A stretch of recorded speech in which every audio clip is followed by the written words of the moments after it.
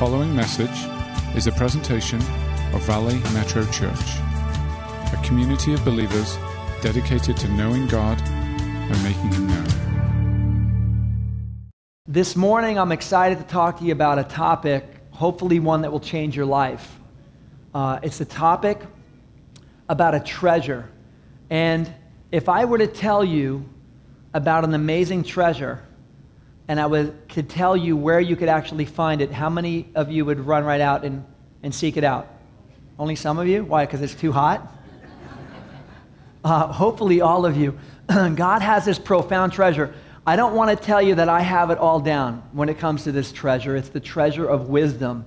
But I have discovered it, and I have picked up pieces of it like gold nuggets. It's profound, it is powerful, it is life changing, it is revolutionary and it is the, the power of, of God's wisdom in your life. And when you think about wisdom, um, I want to talk this morning about what it is and what it's not, because there's a lot of people who have a different view of what is wise. Have you ever seen uh, America's Funniest Videos? You ever see people doing things they think are wise? Not too wise?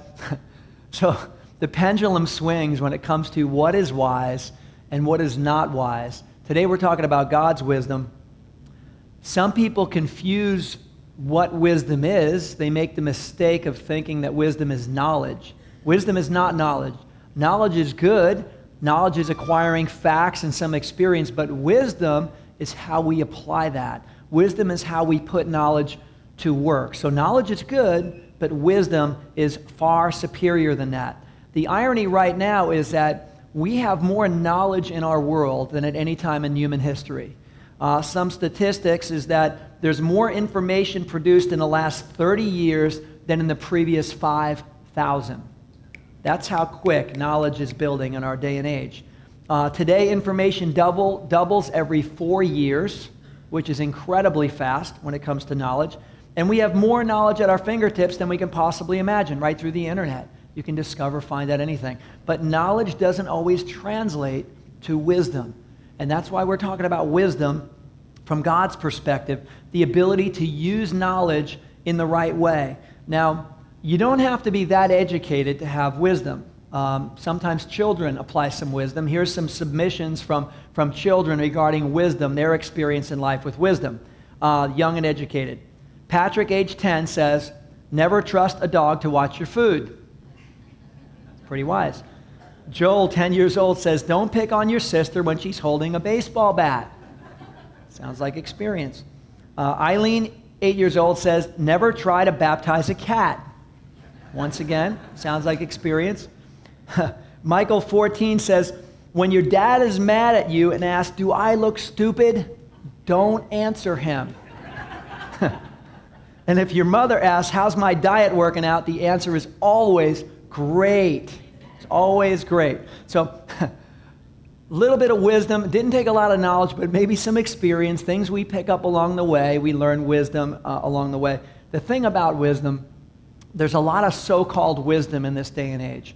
There's a lot of alleged wisdom. Um, I would suggest that you and I have to test everything. We have to test what we hear to be wisdom uh, according to God's word. Uh, by definition, the Bible says that God gives us everything we need uh, according to life and godliness. He gives us profound insight, profound clarity. And so through life, there's these, these little aspects of what seems like wisdom, but you and I have to test them to see if it truly is wisdom. There's all sorts of things out there. So there's worldly wisdom and there's godly wisdom, and they're two different things.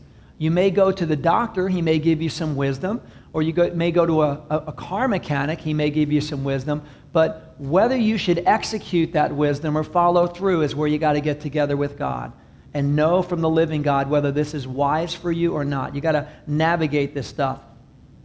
The Bible says a couple of profound things about this, and some of these are in your bulletin.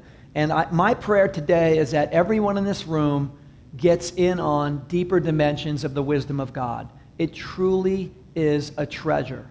It is an absolute treasure. It can change your life forever if you and I choose to go on a quest for this wisdom.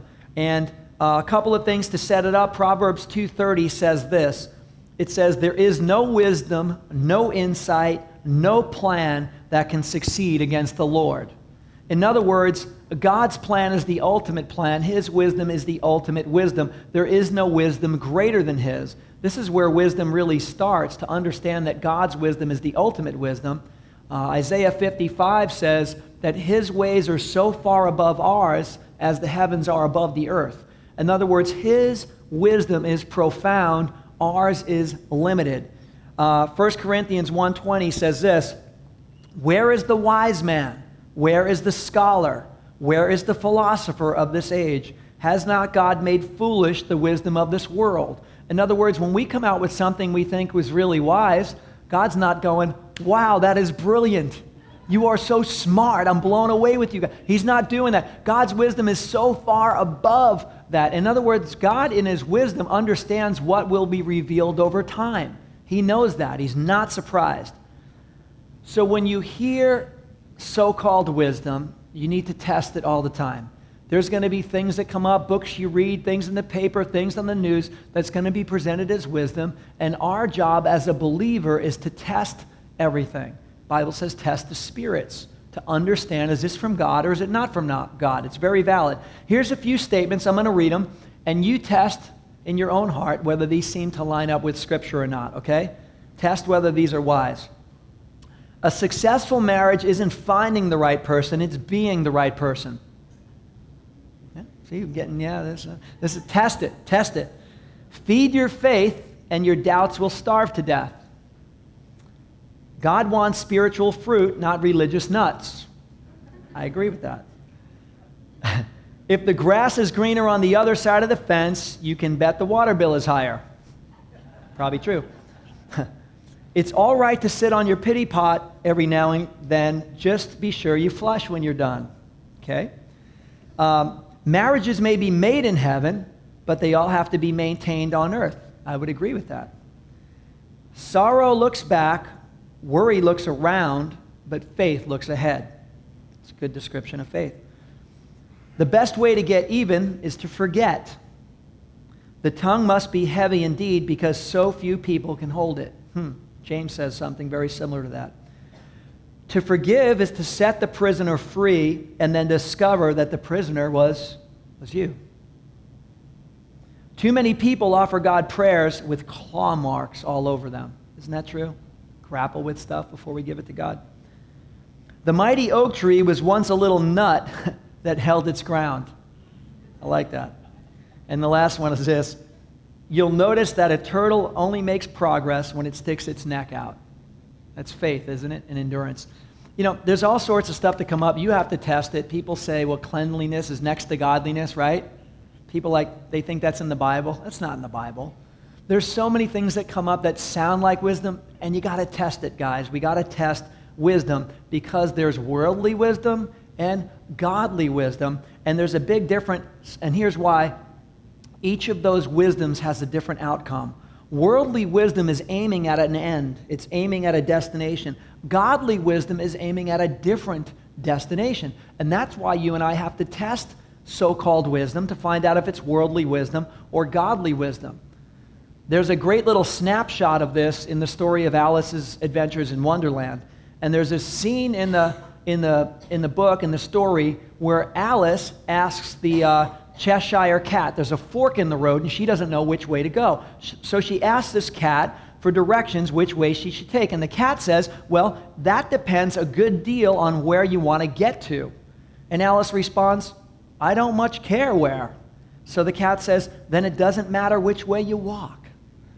And that's the same in our lives, true as well. If we know where we want to get to, it does matter the way we walk and what wisdom we apply. If we don't care, then it doesn't matter. Uh, this is so important that God has a whole book actually in the Bible dedicated to this, the book of Proverbs. Um, the book of Proverbs written primarily by Solomon so that his children will know, first of all, uh, we, we realize with Solomon, when he came into power, when he came into office, when God graduated him, the first prayer he asked is, God, give me wisdom.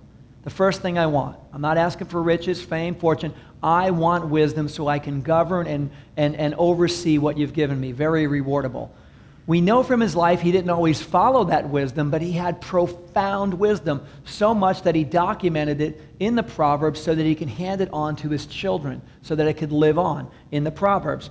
And the first thing that it says in Proverbs chapter 1, verse 1, and some of these again are in your bulletin, it says, The Proverbs of Solomon, son of David, king of Israel, listen to this, for gaining wisdom and instruction, for understanding words of insight. So, from the very beginning, he's setting up this book of Proverbs with the, with the preface that I've got so much wisdom right here, God given wisdom, that I'm putting out for all future generations if you choose to seek it.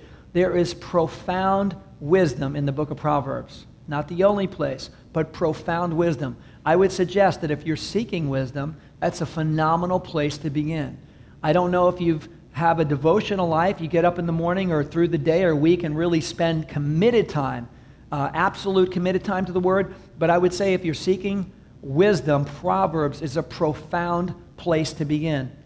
It's not, you know, a matter of learning all kinds of knowledge, although that's beneficial. It's a matter of understanding the wisdom of God and applying it in our lives. Profound stuff. Uh, Proverbs 3:13. I want to read some of these because they're very insightful, talking about how much of a treasure wisdom really is, that it's genuinely a full-on treasure.